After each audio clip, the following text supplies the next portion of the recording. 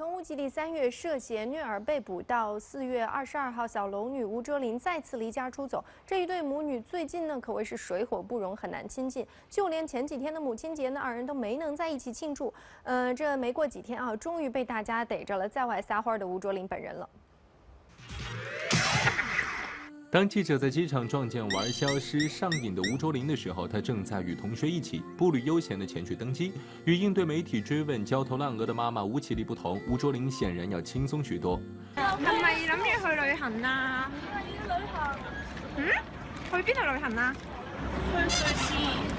虽说此行目的纯粹为了看风景，但吴卓林还是透露线下与母亲吴绮莉的关系还不错。至于自己缺席的母亲节，等旅游回来再给妈妈补上。然而，在同行的外籍老师看来，吴卓林这个年纪还不适合正面回应一些超过他年龄承受力的问题，不断提醒记者结束采访。Go go away. Okay okay. Go away. Okay okay okay. She's like 13. Okay. In life. Okay okay. Go away. Go away. 话说，一九九九年出生的吴卓林，算算年龄也只是刚满十六岁，正值所谓的青春叛逆期。也正是因为他和成龙之间剪不断理还乱的血缘亲情，让这个懵懵懂懂的小姑娘承受了太多的关注。尤其是报警举报妈妈酗酒，以及三番五次的离家出走，让她比许多二线明星有更多的机会登上娱乐版面。希望这次的旅行能够给她一个缓释的空间，做回同龄人应有的单纯，得到同龄人一样的幸福。娱乐新天地综合报道。